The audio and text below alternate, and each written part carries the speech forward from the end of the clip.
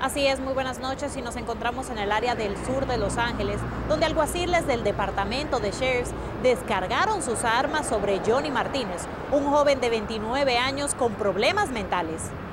Y yo venía a correr, correr allí para que, decirle porque él a mí todo me hacía caso. Y ellos me dijeron, señora, usted no venga.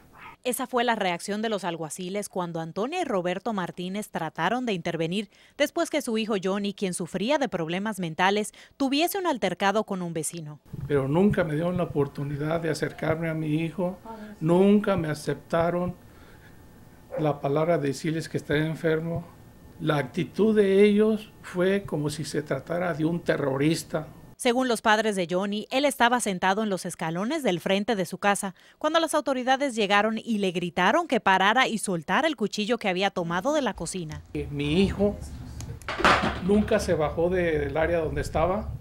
Mi hijo nunca hizo el impulso de amenazarlos, sino que cuando él le gritó fuerte fue cuando empezaron a disparar. Alguaciles utilizaron una arma que uh, no es letal pero esta arma no lo pudo parar.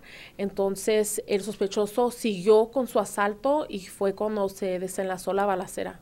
En la escuela secundaria, Johnny fue sobresaliente en el fútbol y tras un accidente y años de depresión fue diagnosticado con ciclofrenia, razón por la cual las autoridades ya habían auxiliado a la familia Martínez cuando se salía de control.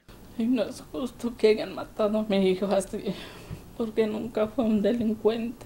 Y es desde aquí precisamente donde partirá la marcha en forma de protesta en apoyo a la familia de Johnny Martínez en contra de la brutalidad policiaca. Eso se llevará a cabo el próximo sábado a la una de la tarde. Esta es toda la información que les tengo desde el sur de Los Ángeles. Romy de Frías, regreso con ustedes al estudio.